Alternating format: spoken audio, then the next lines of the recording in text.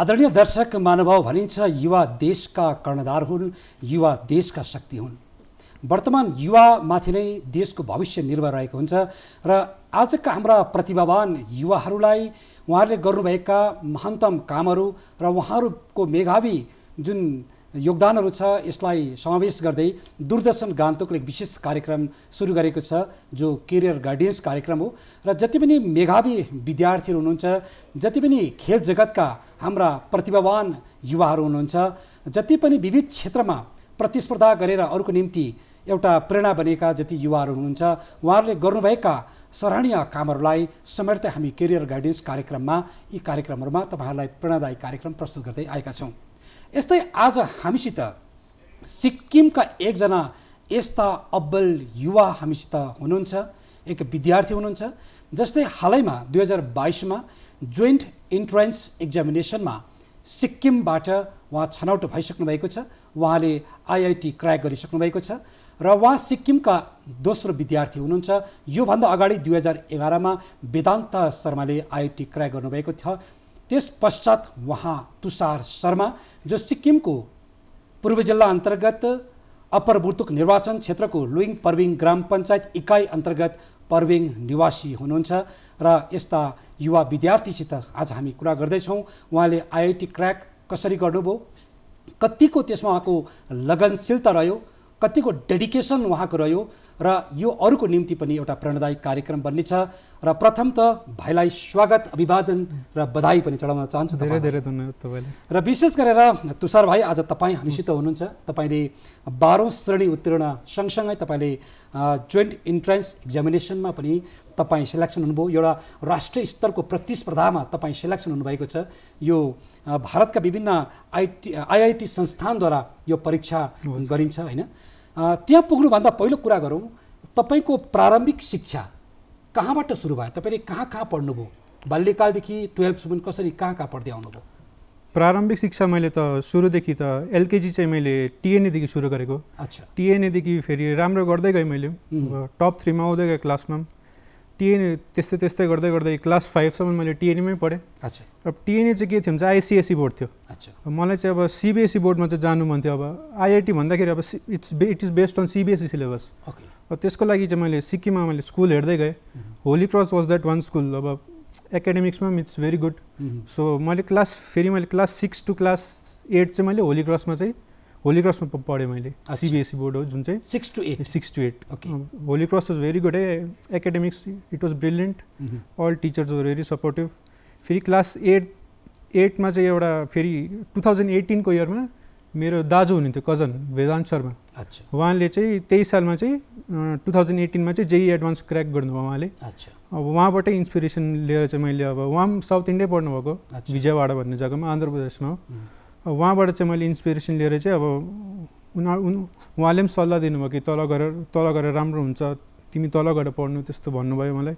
फेरि क्लास नाइनदेखि चाहिँ मैले होली क्रस छोडेर होल साउथ इन्डिया गएँ। साउथ इन्डियामा चाहिँ मैले क्लास नाइन टु टेन चाहिँ मैले केकेआर गौतम भन्ने स्कुलमा पढेको which is CBSE only CBSE only IIT foundation हो। अब आइआइटी त अब it is based on eleventh and twelfth syllabus तर त्यसको लागि चाहिँ अगाडिदेखि एउटा फाउन्डेसन चाहिँ हुनुपर्छ अब। अच्छा। फाउन्डेसन गऱ्यो भने चाहिँ अब साह्रो पर्छ अब बादमा बिल्डअप गर्नु। अच्छा। क्लास नाइन टु टेनमा मैले त्यहीँ अब normal normal schooling except normal schooling पनि मैले अब आइआइटीको टेस्टहरू दिँदै गरेँ। हो त्यहाँबाट नाइन र टेन मैले त्यत्तिकै अब सिबिएसईमा मैले राम्रै गरेँ अब बोर्डमा around ninety five percentage score. अच्छा। त्यहाँबाट चाहिँ मैले त्यहीँबाट मैले अब त्यहाँ एउटा टेस्ट हुन्छ ग्रान्ड टेस्ट चाहिँ राख्छ उनीहरूले अब इलेभेन टुवेल्भ अब कहाँ जाने। इलेभेन टुवेल्भ चाहिँ उनीहरूले स्कलरसिप दिन्छ। श्री चैतन्य भन्ने एउटा एजुकेसन इन्स्टिट्युसन हुन्छ। अच्छा। उहाँबाट चाहिँ मैले अब एट्टी थाउजन्डको चाहिँ स्कलरसिप पाएँ। अब एट्टी थाउजन्डको चाहिँ स्कलरसिप पाएँ। त्यहीँबाट चाहिँ मैले इलेभेन्थ र टुवेल्भ चाहिँ कन्टिन्यू गरेँ। अब इलेभेन टुवेल्थमा अब आइस मेन्समा मेरो ऱ्याङ्क इलेभेन थाउजन्ड थियो। Eleven thousand three hundred and eighty eight थियो। एडभान्समा चाहिँ मेरो rank nine thousand five hundred and eighty two थियो। अच्छा। तपाईँले बाल्य अवस्थादेखि नै जब स्कुल पढ्नुहुन्थ्यो नि तपाईँले के कस्ता कम्पिटिसनहरूतिर भाग लिइरहनुहुन्थ्यो? कम्पिटिसन अब म त भाग लिइरहन्थेँ। अब क्विजमा चाहिँ मेरो निकै इन्ट्रेस्ट थियो। क्विजमा? टिएनएमा त अब सानै थियो त्यतिखेर त्यति कम्पिटिसनमा हिस्सा लिनँ मैले। होली क्रस पुगेपछि चाहिँ अब मैले निकै अब क्विजतिर पनि इन्ट्रेस्ट थियो। अब क्विज अब इन्टर स्कुल क्विज कम्पिटिसनतिर मैले निकै पार्टिसिपेट गरेँ है। निकै पार्टिसिपेट गरेँ। टिचर्सहरूले पनि धेरै सपोर्ट गर्नुभयो। अनि इन्टर स्कुलतिर म्याथ म्याथमेटिक्स मेन्टल म्याथ्स कम्पिटिसनहरू हुन्थ्यो। त्यो पनि मैले पार्टिसिपेट गरेँ। राम्रै गर्दै गएँ। अब it went on like that only अब। अच्छा। यसलाई तपाईँले कसरी तयारी गर्नुहुन्थ्यो? आफ्नो एउटा डेली रुटिनमा स्टडीलाई यसरी जोड्नु पऱ्यो नि? अब एकापट्टि अहिलेको नानीहरूले म्याथमेटिक्स एकदमै हार्ड सब्जेक्ट भन्छ साइन्सहरू एकदमै हार्ड सब्जेक्ट भन्छ होइन? तर तपाईँले भन्नुहुँदैछ यस्तो विभिन्न खालको क्विज कम्पिटिसनमा पनि यस्तो प्रकारको भाग लिएको कुरा गर्नु। कसरी आफूलाई तयारी गर्नुहुन्थ्यो? आफूले त अब सबै कन्फिडेन्स हो अब सेल्फ कन्फिडेन्स अब. आफूमा सेल्फ कन्फिडेन्स छ भने त जे पनि गर्नु सक्छ। अच्छा। अब मेरो डेली रुटिन चाहिँ त्यही छ भने चाहिँ अब म चाहिँ होस्टेलमा बस्थेँ। अच्छा। अब होस्टेलकै रुटिन फलो गर्थेँ म पनि। बिहान छ बजीतिर उठ्नु पर्थ्यो। त्यहाँबाट सिक्स थर्टी क्लास बिहान सात बजीदेखि चाहिँ क्लास सुरु हुन्थ्यो हाम्रो। अच्छा। So within one hour we had to get ready अच्छा। फेरि morning seven to morning afternoon टुवेल्भसम्म चाहिँ क्लास हुन्थ्यो। क्लास एन्ड त्यहीँ होस्टेलमै बसेर क्लासरुममै सबै स्टडियर्सहरू हुन्थ्यो। ती टिचरहरूले पढाउनु हुन्थ्यो र जे जे डाउट्स छ हामी सबै त्यहीँ क्ल्यारिफाई गरिहाल्थ्यौँ। टिचर्सहरूले पनि निकै अब हेल्प गर्नुभयो मलाई साउथ इन्डियामै। अब अलिक केही चाहिँ प्रब्लम छ भने चाहिँ we need to know Telugu bit अच्छा। तेलुगु चाहिँ आउँदैन भने चाहिँ it's very difficult to study study they Telugu चाहिँ आउनुपर्छ मान्छेलाई है पढ्ने स्टुडेन्टले त्यहाँ। अब मेनी नर्थ इन्डियन स्टुडेन्ट्सहरू धेरै उम्. उनीहरूकैबाट मैले सिकेँ उनीहरूले मलाई तेलुगु सिकाएँ भाषा सिक्ने मौका पनि पाउनु हजुर फ्लुएन्टली बोल्न सक्नुहुन्छ? फ्लुएन्टली अब बुझ्छु बोल्नु त सक्दिनँ तर मजाले? बुझ्छु। अच्छा। मजाले बुझ्छु। बहुत राम्रो कुरा। यसको लागि कोही न कोही एउटा प्रेरणाको स्रोत हुन्छ भन्छ नि मान्छेको होइन? जस्तो तपाईँको निम्ति यति अगाडि जानको लागि तपाईँलाई कोही न कोहीबाट प्रेरणा मिलेको हुनसक्छ या त मातापिता या त गुरुजन या त साथी सङ्गी या त समाजको कोही ख्यातिप्राप्त व्यक्तित्व होइन? कहाँबाट पाउनुभयो प्रेरणा? कि आफ्नै एउटै प्रयास मेरै मामाको छोरो हुनुहुन्थ्यो है वेदान्त शर्मा। टु थाउजन्ड एटिनमा उहाँले आइआइटी क्र्याक गरेर आइआइटी मुम्बई पढ्नुभयो उहाँले। र उहाँ अहिले स्ट्यान्डफोर्डमा हुनुहुन्छ मास्टर गर्नुहुँदैछ कम्प्युटर साइन्समा। उहाँकोबाट प्रेरणा लिएर मैले गएँ पेरेन्ट्सकोबाट पनि निकै सपोर्ट पाएँ मैले है। अच्छा। केसमा पनि कम्प्रोमाइज गर्नु भएन उहाँले. निकै सपोर्ट पाएँ टिचर्सहरूकोबाट पनि निकै सपोर्ट पाएँ। त्यही हो। कतिको हार्ड डेडिकेसन चाहिँदो रहेछ त? डेडिकेसन त चाहिन्छ अब आइआइटी भनेको त it's one of the toughest examination in world है। अब डेली चाहिँ अब म चाहिँ I I used to study around twelve hours a day. भनिदिउँ न टुवेल्भ आवर्स बाह्र घन्टा प्रत्येक दिन? बाह्र घन्टा। खट्नुभयो? Including classes including class including classes हजुर। अब दुई घन्टा चाहिँ म दुई घन्टा टिचरले पढाउनु हुन्थ्यो भने चाहिँ म दुई घन्टा आफै आफै प्र्याक्टिस गर्थेँ। अब टिचरहरूले त्यहीँ डाउट सोध्थेँ त्यहीँ त्यही त्यहीँ त्यहीँनिर डाउट सोच्ने गर्थेँ मैले। यहाँ एउटा कुरा जनाउँ न तपाईँले जोइन्ट इन्ट्रान्स एक्जामिनेसन एउटा मेन भन्नुभयो एउटा जोइन्ट इन्ट्रान्स एक्जामिनेसन एडभान्स भन्नुभयो नि। मेन चाहिँ पहिला गरेर त्यस पछाडि चाहिँ स्क्रिनिङ पछि एडभान्समा। जाइन्छ मेन कस्तो प्रकारले स्क्रिनिङ हुन्छ? मिन्स अब जस्तो निट इक्जाम हुन्छ नि। जे मेन पनि त्यस्तै खालको इक्जाम हो। निट भन्दा चाहिँ अलिकति टफ हो। अच्छा। निट चाहिँ सेभेन ट्वेन्टी मार्क्सको हुन्छ। त्यसमा चाहिँ अब बायोलोजीमा चाहिँ बेसी वेटेज हुन्छ। अच्छा। अब जेई मेन्समा चाहिँ म्याथ्स हन्ड्रेड थ्री हन्ड्रेड मार्क्सको हुन्छ। त्यसमा चाहिँ maths hundred marks physics hundred marks chemistry hundred marks अच्छा। अब त्यसमा चाहिँ अब क्वालिफाइङ कट अफ हुन्छ। जेनरलको लागि चाहिँ it was eighty five percentile this time मेरो पर्सेन्टाइल चाहिँ नाइन्टी एट पोइन्ट एट थियो. उम्, अनि for SC ST and other reserve candidates.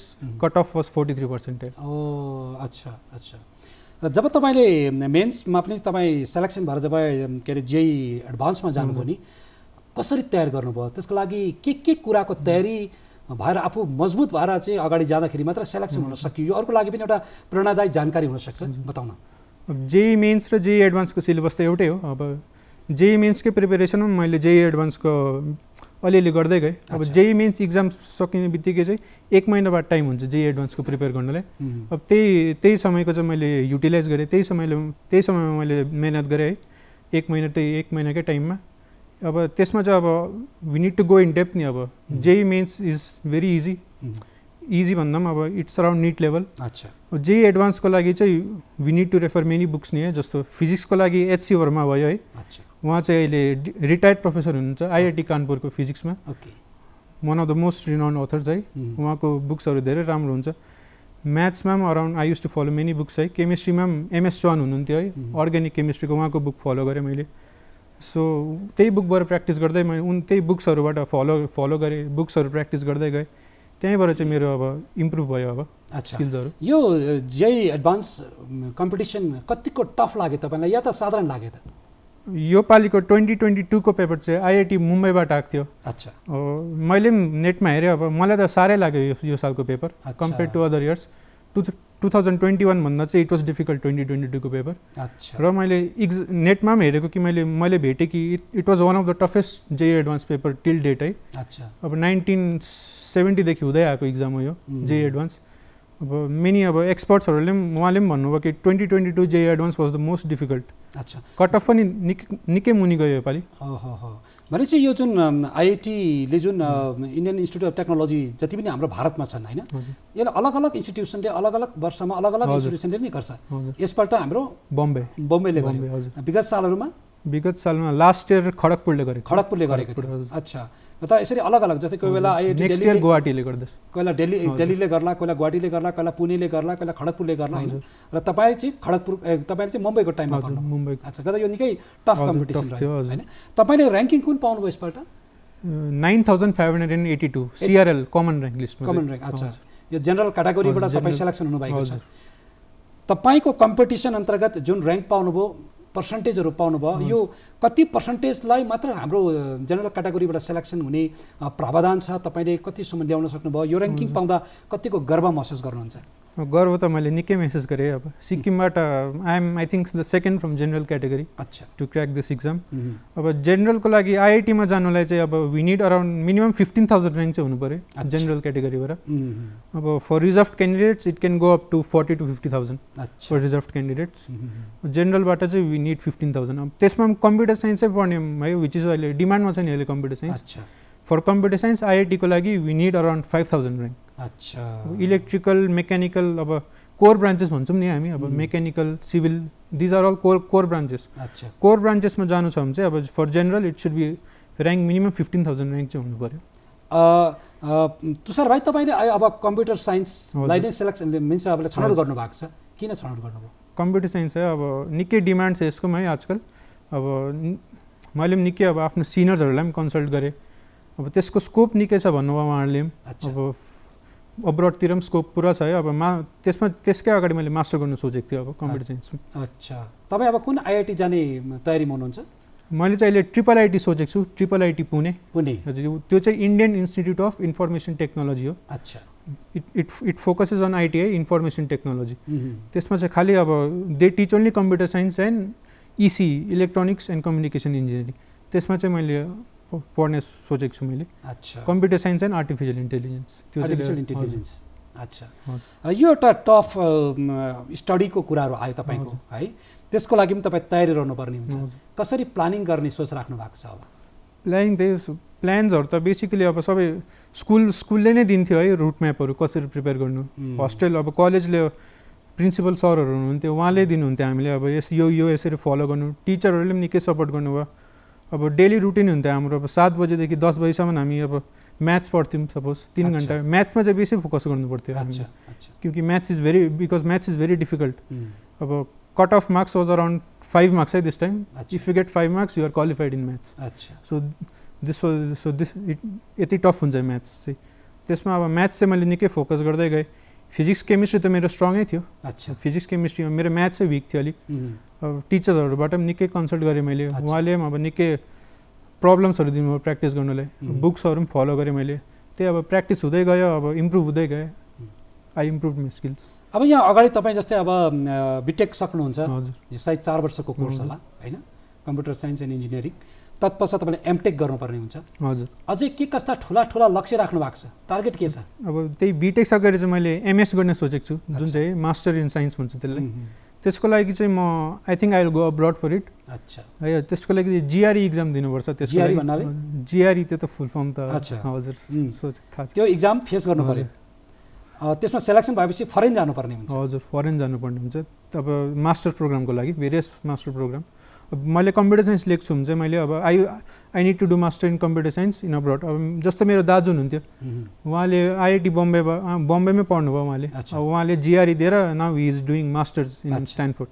अच्छा अच्छा बहुत कजन। दाजु हुनुहुन्थ्यो। तपाईँ जब यो आफ्नो लक्ष्यलाई पुरा गरेर कुनै दिन सिक्किम फर्केर आउनुहुन्छ के बन्ने सपना साँच्नु भएको छ? अब सिक्किमको लागि अब होइन अब एउटा राष्ट्रको लागि। राष्ट्रको लागि अब। सिक्किमको लागि होइन यो त राष्ट्रको यो त राष्ट्रलाई राष्ट्रले सोच्ने कुरो अब। त्यही अब एउटा राम्रो इन्जिनियर बन्ने मौका पाएँ मैले पनि अब। विश्व भविष्यमा है देशको लागि के गर्नु पाउँछु अब? त्यो त्यो त्यो अगाडि बढेर सोच सोच्छु म पनि। एउटा कुरा छ नि भारत देशमा जति पनि दिग्गज व्यक्तित्वहरू जब यसरी इन्जिनियरिङ सक्नुहुन्छ होइन धेरै महान व्यक्ति बनिसकेपछि देशलाई नै छोडेर विदेश गएरै उहाँले आफ्नो सम्पूर्ण जीवन बिताएको कुरा सुनिन्छ है।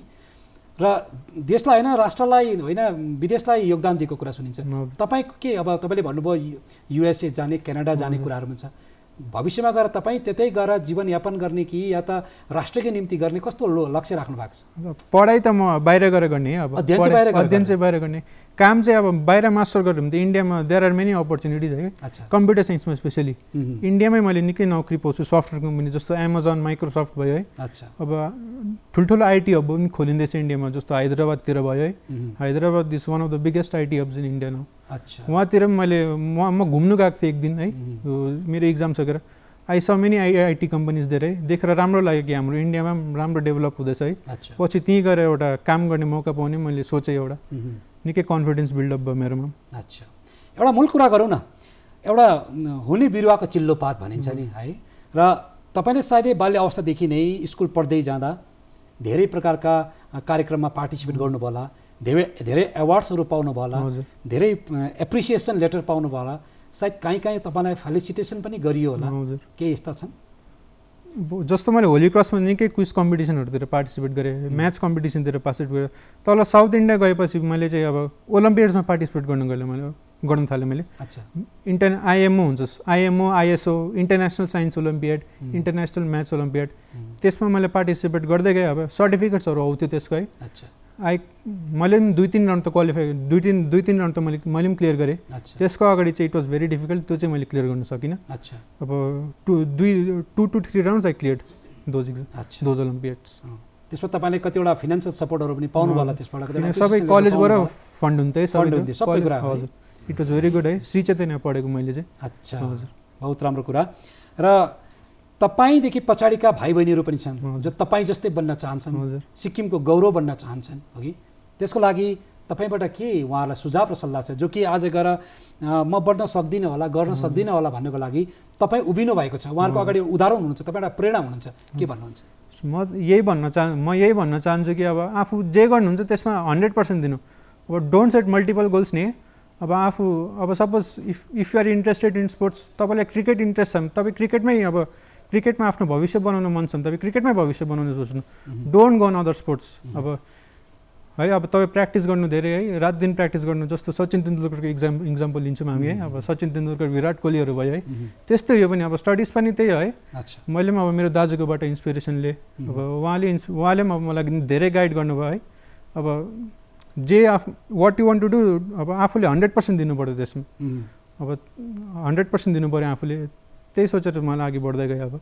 के अपेक्षा राख्नुहुन्छ राज्य सरकारबाट भारत सरकारबाट ताकि परिवारबाट पनि कतिवटा आर्थिक कुराहरूको पनि सपोर्ट चाहिन सक्ने कुराहरू स्थिति पनि छ होइन? तपाईँ सायद हुनसक्छ धेरै भन्दा धेरै मजबुत परिवारको पनि त हामी छैनौँ होइन? साधारण परिवारबाट पढ्दै। आएका हौँ। र तपाईँबाट के अपेक्षा राख्नुहुन्छ? केही छ त्यस्तो?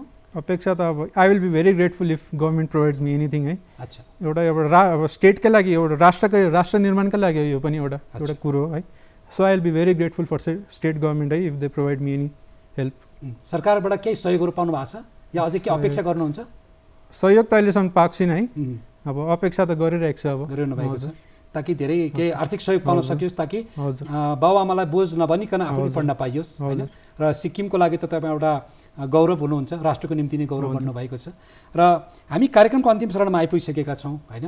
जसले गर्दाखेरि तपाईँले यति ठुलो मेहनत गरेर यति ठुलो ल्यागतसँग आज यहाँ आउनुभयो।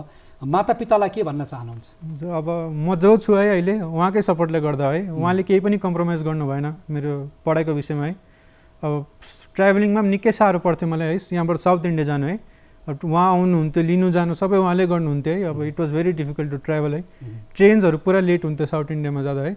सो उहाँले अब निकै कष्ट गर्नुभयो मेरो लागि है। So I'm very grateful to to them अहिलेको युवाहरूमा अझै पनि सुनिन्छ नि म्याथमेटिक्समा अहिले पनि कमजोर देखिन्छ फिजिक्समा कमजोर देखिन्छ केमिस्ट्रीमा कमजोर। देखिन्छ तर तपाईँ मेगाबी हुनुहुन्छ तपाईँ ट्यालेन्टेड हुनुहुन्छ यो सब्जेक्टमा कसरी हार्ड हो सब्जेक्ट यो? हार्ड त होइन प्र्याक्टिस गर्नु पऱ्यो आफू। Maths is all totally practice नि। अब केमिस्ट्री त रट्नै पर्छ नरटिकन केमिस्ट्री त हुँदैन। फिजिक्स चाहिँ अलिक लजिक पनि हो अब। आफ्नोमा ट्यालेन्ट पनि हुनुपर्छ फिजिक्सको लागि चाहिँ। प्र्याक्टिस पनि हो फिजिक्स। अब म्याथ्स चाहिँ अब प्र्याक्टिसै हो। म त भन्छु म्याथ्स अब ट्युसन अब यहाँकोमा नानीहरूले अब निकै ट्युसन पढ्छन् है यहाँको नानीहरूले। अब ट्युसन गरेर के पर्छ भने घरमा प्र्याक्टिसै गर्दैनन् उनीहरूले। अच्छा। त्यही अब I will recommend them to practice in home also जे ट्युसनमा पढाउँछ त्यही घरमा गएर प्र्याक्टिस गर्नु। अब ट्युसन तपाईँ एक घन्टा पढ्नुहुन्छ घरमा दुई घन्टा प्र्याक्टिस गर्ने गर्नु। अच्छा। So it will be very helpful it will be very helpful देशले कम्प्युटर साइन्समा गरेको जुन प्रतिस्पर्धा छ नि। कम्पिटिसन छ देश विदेशसँगको जुन विश्वसँगको जुन कम्पिटिसन छ कम्प्युटर साइन्समा देशले धेरै प्रतिस्पर्धा। गरेको छ अझै के कस्ता चुनौतीहरू तपाईँले देख्नु भएको छ ताकि भोलि तपाईँले कम्प्युटर साइन्स इन्जिनियरिङमा एमटेक सकेर आउनुहुन्छ होला। त्यहाँदेखि अझै माथिको डिग्री हासिल गर्न सक्नुहुन्छ होला के सोच्नु भएको छ ताकि त्यसले गर्दा भोलिको दिनमा देशले धेरै उन्नति प्रगति गरेर विश्वको निम्ति नै एउटा गरिमा स्थापित गर्न सकोस् अब अब अब आउने अब टाइममा हामीले हेऱ्यौँ भने चाहिँ अब in five to ten years अब जे हुन्छ सबै कम्प्युटरले हुने कुरा हातले त के हुँदैन अब। अर्को दस वर्षमा त है। त्यो अब त्यही सोचेर मैले कम्प्युटर साइन्स लिएको अब। मेरो अब मामा माइजू हुनुहुन्छ एसएमआइटीमा काम गर्नुहुन्थ्यो। उहाँले उहाँ पनि प्रोफेसर हो। उहाँले पनि मलाई गाइड गर्नुभयो कि कम्प्युटर साइन्सै लिनु है। स्कोप पुरा छ अब। बादमा अब इन्डियाबाट इन्डियामा अब इन्डियामै अहिले आइटी हब्सहरू यस्तो डेभलप हुँदैछ। यु क्यान वर्क देयर उहाँले अब गाइड गर्नुभयो यस्तो। अच्छा। तपाईँ समग्र हाम्रो सिक्किमेली युवा भाइहरूलाई अन्तमा गएर के मेसेज छोडेर जानुहुन्छ? मेसेज त यही दिन चाहन्छु कि अब आफू जे आफू जे गर्नु मन छ त्यो गर्नु but give it hundred percent है। आफूले जे गर्नु मन छ त्यस्तो त्यसमा चाहिँ हन्ड्रेड पर्सेन्ट दिनु है। पुरा हार्डवर्क गर्नु। पुरा हार्डवर्क गरेर मात्रै अब त्यो सक्सेसफुल हुन्छ। त बडा राम्रो तपाईँसँग भेटघाट हुँदाहुँदै हाम्रो निर्धारित समय पुरा भएकोले गर्दा हाम्रो चर्चा यहीमै विसर्जन गर्छौँ। आदरणीय दर्शक महानुभाव हामीसित हुनुहुन्थ्यो श्री तुषार पर्साईज्यू जो जोइन्ट इन्ट्रान्स एक्जामिनेसन एडभान्समा यसपल्ट सिक्किमबाट उहाँ छनौट हुनुभएको छ। उहाँको सिएलआर ऱ्याङ्क नौ हजार पाँच सय बयासीमा उहाँ सेलेक्सन भएर यो स्थान ओगटिसक्नु भएको छ। उहाँ भोलिको दिनमा कम्प्युटर साइन्स एन्ड इन्जिनियरिङको निम्ति उहाँ अब हाम्रो राज्यबाट राष्ट्रिय स्तरको प्रतिस्पर्धामा पनि उहाँ सेलेक्सन भएर गइसक्नु भएको छ। उहाँले ट्रिपल आइटी पुणेमा उहाँले आफ्नो अध्ययन शुभारम्भ गर्नुहुनेछ। यहाँलाई धेरै धेरै मङ्गलमय शुभकामना र धेरै तपाईँको सपना लक्ष्यहरू जे छन् ईश्वरले पुरा गरून्। फेरि पनि तपाईँले प्रगति गरेका जानकारीसँग फेरि भेटघाट गर्नेछौँ। तपाईँलाई बधाई दिँदै आजलाई बिदा दिउँ नमस्ते। धन्यवाद।